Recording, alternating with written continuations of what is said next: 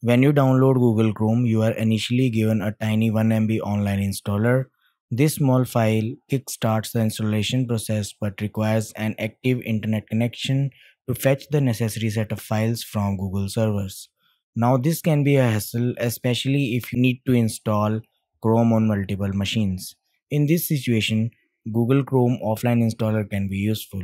So what is Chrome Offline Installer? Offline Installer for Chrome contains all the required set of files within itself, eliminating the need for an internet connection during the installation. This means you can install Chrome on multiple computers efficiently, saving both time and bandwidth. In this video, you will learn how to download Chrome Offline Installer. But before that, we are trying to hit 10,000 subscribers on YouTube, so please consider subscribing to the channel. Alright, open your default web browser and in the address bar you need to copy paste this URL and hit enter. This will take you to Chrome download page. Here click on this download Chrome button and this will download the Chrome offline installer of the latest version available.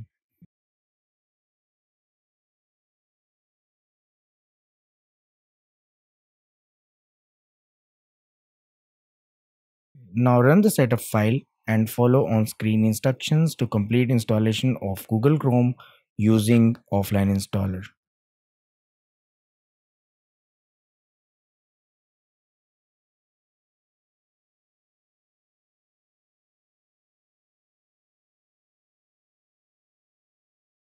In case you are looking for direct links to download Chrome offline installer for 62 and 32 bit machines, then you can check this blog post where you will find offline installers for 32-bit and 64 machines installer for Chrome browser for single users account offline installer for Chrome browser all users account Google Chrome MSI installer for Windows as well as offline installer for Chrome Canary, Chrome Dev and Chrome Beta. So that's all about this video. If you find this video useful, don't forget to like this video and subscribe the channel for more useful videos. Thanks for watching.